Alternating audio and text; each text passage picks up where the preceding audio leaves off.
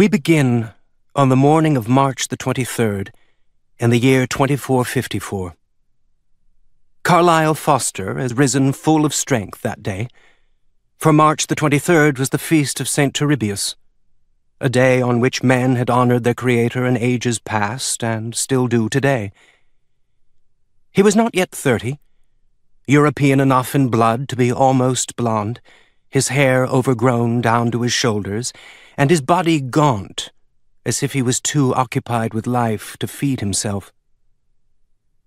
He wore practical shoes, and a cousin's loose but comfortable wrap, grey-green, that morning, but the only clothing item given any care was his long, hooded sensayer's scarf of age-grayed wool, which he believed had once belonged to the great sensayer's conclave reformer, Fisher G. Garay.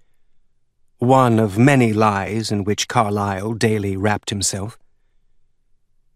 Following his parishioner's instructions, Carlyle bade the car touch down not on the high drawbridge-like walkway which led to the main door of the shimmering glass bash' house, but by the narrow maintenance stairs beside it. These slanted their way down into the little man-made canyon which separated this row of bash' houses from the next, like a deep, dry moat. The bottom was choked with wildflowers and seed-heavy grasses, tousled by the foraging of countless birds, and here, in the shadow of the bridge, lay Thisbe's door, too unimportant even for a bell.